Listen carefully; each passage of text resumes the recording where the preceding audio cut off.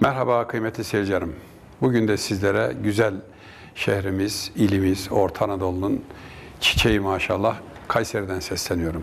Kayseri Büyükşehir Belediye Başkanlığı'nın destek ve katkılarıyla yapmakta olduğumuz programlarımızın bu bölümünde daha önceki bölümden bitiremediğimiz Seyit Burhanettin Hazretlerini ve türbesini biraz daha anlatmaya devam edeceğiz. Ondan sonra hemen gene bugün bu bölümde e, Seyit Burhanettin Hazretleri'nin komşusu olan Emir Erdoğmuş'un türbesini ve Emir Erdoğmuş hakkında ulaşabildiğimiz ufak tefek de olsa bilgileri sizlere arz etmeye çalışacağım.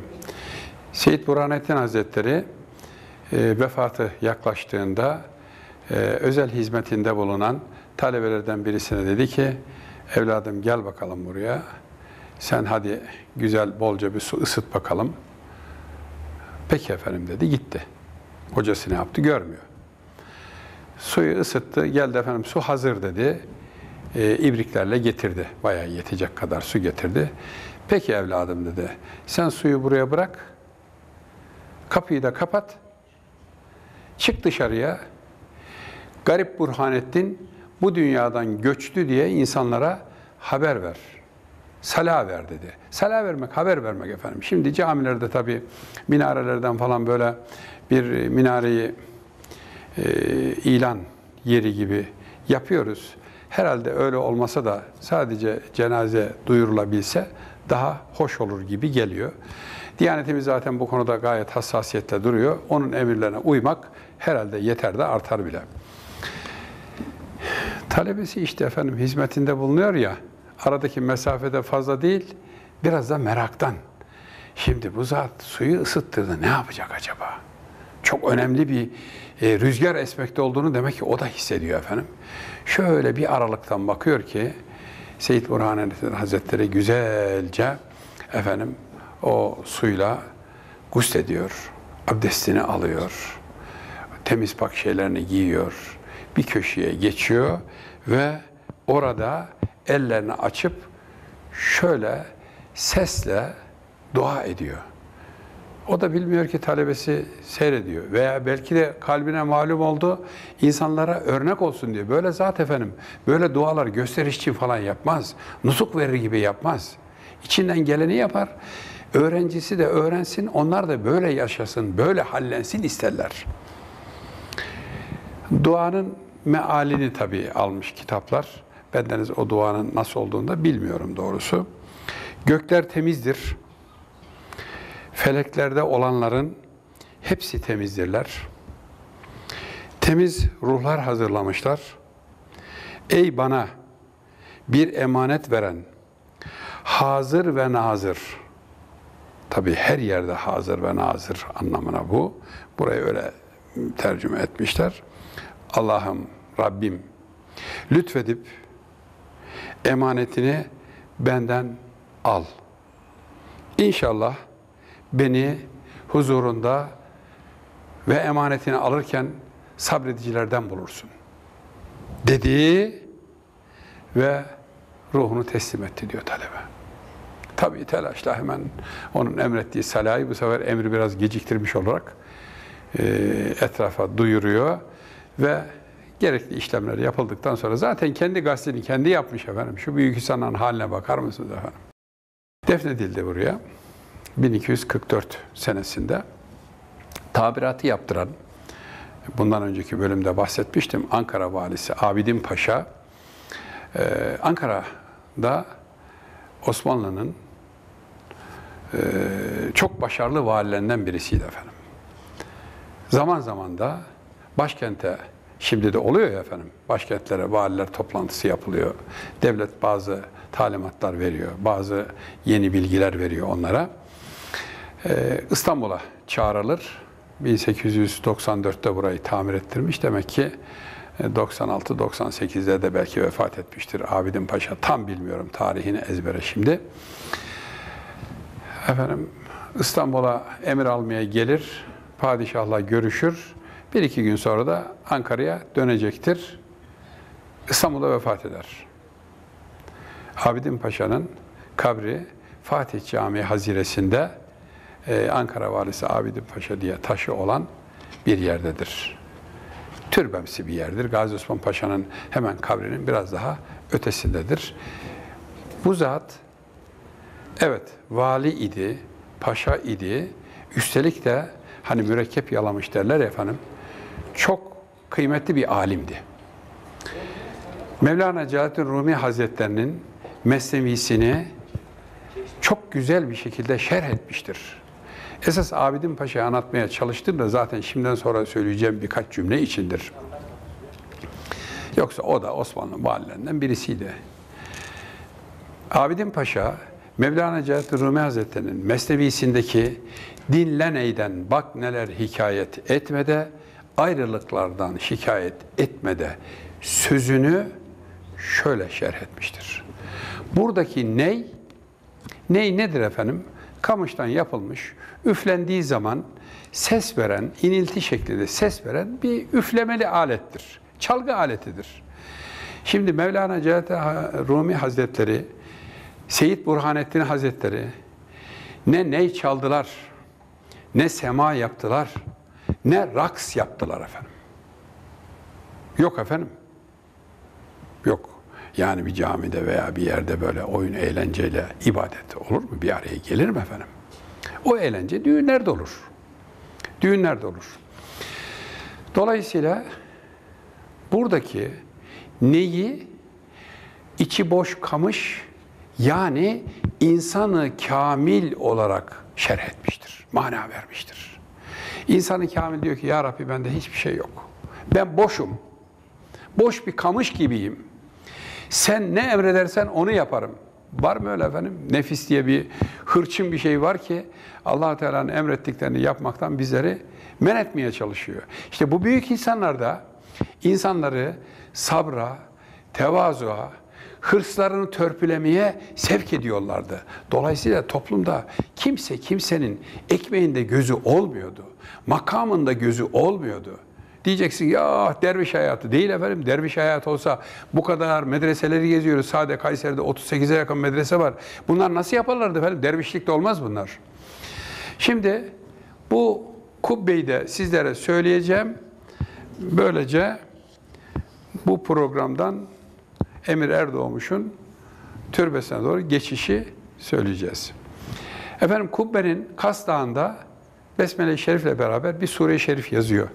Ama bizim alıştığımız bu kubbelerde ekseriyette Besmele-i Şerif'ten sonra birçok Osmanlı türbesinde var. Bunu da Abidin Paşa yaptırdığına göre e, o da bunu örnek almış olabilir. Ayet-el Kürsi yazılırdı. Fakat Ayet-el Kürsi'yi biz okuyamadık. İhtimal ki başka bir e, şey yazılmıştır. Büyük bir ihtimalle Fetih Sure-i Şerifinden bir bölümü yazılmıştır. Çünkü buraya Darül Feth derdi rahmetli Burhanettin Hazretleri, Seyyid Burhanettin Hazretleri. Darül Feth, Fetih memleketi. Fetih memleketi. O yüzden o yazılmış olabilir. Biz de tabii hat yazısı olunca çözemiyoruz. İşte yol uzak diyoruz, gözümüz seçmedi diyoruz bahaneler. Aslında okumasını bilseydik onu da biz rahat okurduk. Şimdi Emir Erdoğmuş Türbesi de bu türbeye bitişik efendim. Daha sonradan birbirine eklenmiş ayrı binalarmış. Güzel bir tonoz yapılmış. Bir de oraya gidelim. O rahmetliyi de analım.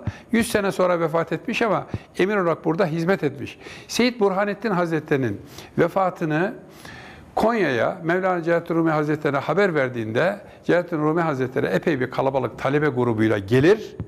Burada efendim burada bulunan o zamanki bulunan efendim sahip Şemseddin isimli bir zat bu haberi vermiştir. O davet etmiştir.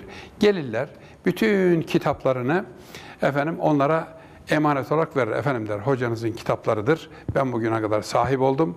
Buyurun kabrini ziyaret ederler. Yani burayı ziyaret ederler. Ve oradan bir kitabı da seçer. Sahip Şemseddin'e hediye eder Mevlana Celaleddin Rumi. Diğerlerini alarak Konya'ya götürür. Konya'daki bugün kütüphanelerde bu zatın kitapları da vardır. Ama oraya verildiği için, Mevlana Celaleddin Rumi Hazretleri hediye ettiği için buraya gelmesini teklif etmek bana düşmez. Belki uygun da olmaz. Gidelim öbür türbenin yanına efendim. Şimdi Emir Erdoğmuş e, Hazretlerinin türbesinin olduğu yerdeyiz. Burada dört tane taştan kabir sandukası var. şöyle bir yerde durayım ben de. Işık ona göre alıyor burası. Mecburen ışığa da tabi olacağız. Ee, kimlerin kabri hangisi Emir Erdoğmuş olduğu bilinmiyor ama şu siyah olan ihtimaldir ki Emir Erdoğmuş'un rahmetlinin kabri olabilir. Böyle taştan kabir üstüne sanduka yapmak Selçuklu'da vardı. Ee, Bunlar son dönemlerde yapılmış, tamir edilmiş. Buralar bir ara bir bakımsız kalmış herhalde. Sonra gelen idarecilerimiz, tarihi çevre fikri olan idarecilerimiz sağ olsunlar buraları çok güzel bir hale getirmişler. Onlara da müteşekkiriz. Burası Seyit Burhanettin Hazretleri Türbesi'ne bitişik bir e, tonoz şeklinde bir örtüyle tamamıyla kesme taştan yapılmıştır. Bu civarın kesme taşıdır. Dışı da kesme taş, içi de kesme taş. Yani aynı taş böyle döndürülebilmiş güzel bir şekle getirilmiştir. Evliya Çelebi seyahatnamesinde Şeyh Molla Tatar isimli bir alimden bahsediyor. Ve İslam e, kitap e, listelerinde Tatarhaniye diye bir mühim fetva kitabından bahsedilir efendim. Tabii benim branşım olmadığı için ben sadece isim olarak söylüyorum. Buraya da Tatarhaniyeler, Tatarhaniler de deniyor idi. Ama içeride yatan Emir Erdoğmuş burada 1348'lerde komutanlık etmiş. Yani Seyyid Burhanettin Hazretleri'nden 104 sene sonra vefat etmiş bir zat. Komutanlık etmiş. Tabi e, komutan, emir o zaman da aynı e, şekilde vali de demek oluyor efendim. İdareci. Burada her şey ondan soruluyor. Yani mahalli, merkezi her şey böyle bir e, yarı bağımsızlık gibi bir idare şekli var. Yani merkez buradaki idarecinin her şeyine onu öyle yap, bunu böyle yap, işte filan yere kaldırımdaki taşları sök veya döşe gibi basit teferruata kadar ince şeyler yapmıyor. Kendi başlarına şehri düşman sardığında hiç emir almadan savunabiliyor, düşmanla savaşa girebiliyor idi. Onun için halkın yanında emirlerin durumu çok farklıydı itibar olarak. Onun için de bu zatı çok sevmişler ve kendisine güzel bir türbe yaptırmışlar. Biz şimdi tabii komşu türbeden girdiğimiz için ana giriş kapısını gösteremedik türbenin. Orada kitabeyi de gösterelim. Bir de dışarıdaki eski Türk mezar taşlarından bazı örnekler gösterelim. Siz demeyin ki bizi ta Orta Asyalara götürdü işte oradaki yazıt taşları gösteriyor. Yazıt taşı değil bunlarda yazı yok efendim. Sadece mezar taşıdır. Onları göreceğiz. Çıkalım dışarıya buradan. Emir Erdoğmuş Türbesi'nin giriş kapısı önündeyiz. Tabi bu kapı kapalı duruyor ekseriyetle. Seyit Burhanettin Hazretleri'nin bunun tam 180 derece zıttındaki e, ana giriş kapısından giren ziyaretçi bu bölüme de girip ziyaret edip gene oradan çıkıyor. Biz de onun için programımızı öyle tersinden aldık. Çıkışta size kapıyı gösterdik. Yukarıda mermer bir kitabesi var. O kitabede bu şehitlikte Emir Erdoğmuş yatmaktadır diyor ve tarihi de atılmış 1348 tabi Hicri tarihi de yanında var 749 olarak görüldüğü gibi güzel keşfe, kesme taştan yapılmış ama şuraları bazı onarımlar geçirmiş. İhtimal ki buralar biraz daha eskisidir. Bunun bundan 100-150 sene önceki yapılandır. Şu kısımlarda da şöyle bir harç dolanmış. Niye harç dolanıyor? Niye dolanıyor onu da bilmiyoruz. Çünkü görüldüğü gibi bunun esasında şuralarında iki taşın arasında harç kullanılmamıştır. Bindirme suretiyle yapılmıştır ve binalarda statik hesap olarak gayet muhkem sağlam olmaktadır. Biz şimdi bir mala ucundaki çimentoya emanet ediyoruz yapılarımızı. Ondan sonra da ufak bir oynamayla kaybettiğimiz oluyor. Şimdi gidelim size bir iki tane eski mezar taşı burada göstereyim. Burası umumi mezarlık. Çok da güzel temiz pak bakılmış. Eskiden buralardan geliş geçiş bile zaman zaman pek emniyetli olmuyor imiş ama şimdi 24 saat buraya giren çıkan insan oluyor. Geceleri de açık. Herkes de gayet rahat, huzur içinde asude bir şekilde ziyaretlerini yapıyor. Park niyetine gelen parkında oturuyor. Ziyaret niyetine gelen ziyaretini yapıyor. Böylece insanlar bu dünyanın stresli hayatından burada hiç olmasa bir saatliğine, iki saatliğine uzaklaşıyor. Gidelim mezar taşlarının başına efendim. Burhanettin Hazretleri mezarlığının hemen türbeye yakın bölümündeyim. Bu mezarlık eski bir mezarlıktır. Yani 300 senelik belki 400 senelik mezarlık hatta 500'ü de vardır belki. Üstüne de defin de olmuştur. Bu taşlar gördüğünüz gibi boyumca yükseklikte taşlardır. Hepsi de böyle değil ama bu mezarda, mezarlıkta böyle büyük taşlara sık rastlamak mümkün. Bu da işte dağdan çıktığı gibi getirilmiş. E, yonu taşı bile değil, olduğu gibi oradan çıkmış bir iki yerini düzeltmişler, getirmişler. Kesme taş hiç değil, üzerinde yazı hiç yok. Zaten mezarların, mezar taşlarının üzerine destanlar yazmaya gerek yok. Vefat eden kimsenin inançlarımıza göre doğum ölüm tarihi veya vefat tarihi yazılır, adı soyadı yazılır, hepsi o kadar. İnsanlar çiğnemesin diye de etrafı çevrilebilir. Burada mezarların baş ve ayak taşları arasındaki mesafenin uzun olması orada yatan kimsenin kabrinin insanlar tarafından kazara olsun çiğnenmesin diye biraz tampon bölgeler bırakılmış efendim. İşte mezarlık hakkında da bir fikriniz olsun dedim. Geldiğinizde yani türbeyi okurken burada yatanlardan da kimi bunların içinde de Evliyaullah'tan zatlar vardır efendim. Mübarek insanlar vardır. Belki sizin uğrunuza efendim buradaki insanların affına sebep olacak bir şeyler olabilir. Buraları da ziyaret edersiniz diye sizlere göstermek istedim. Bugünkü programımızın da sonuna gelmiş bulunuyorum. Hoşça kalınız. Bundan sonra Kayseri programlarımız devam ediyor. Yenisinde buluşmak üzere efendim.